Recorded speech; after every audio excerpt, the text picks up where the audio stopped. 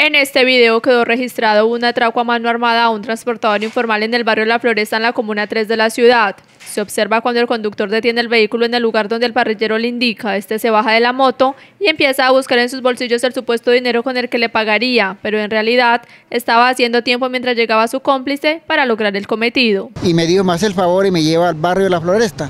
Yo le dije, sí señor. Cuando ya llegamos al pare, yo hice el pare y me dijo, dele derecho, dele derecho, dele derecho paramos y me dijo, déjeme aquí en este portón.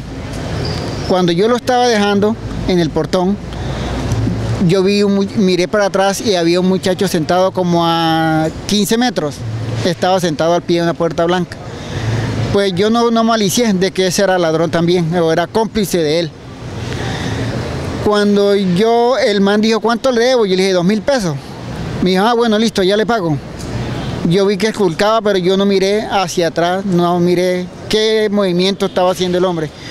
Cuando veo que miro yo otra vez y veo el man que pega la mano en el pantalón y se me bota hacia adelante y me apunta con una, no sé si era arma de juguete o revólver de verdad, verdad. La víctima asegura que la motocicleta la había adquirido recientemente por medio de un préstamo y que ese era el medio de sustento para su familia. Esa moto la conseguí por medio de un cuñado de la mujer hice el viaje hasta Bucaramanga para que él me hiciera el favor de, de salirme de fiador.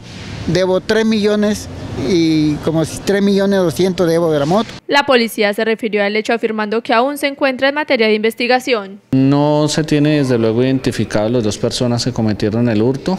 Eh, una vez eh, se logre la recuperación de la motocicleta, es importante acotar que hemos recuperado motocicletas abandonadas por información de la ciudadanía y por nuestros patrullajes.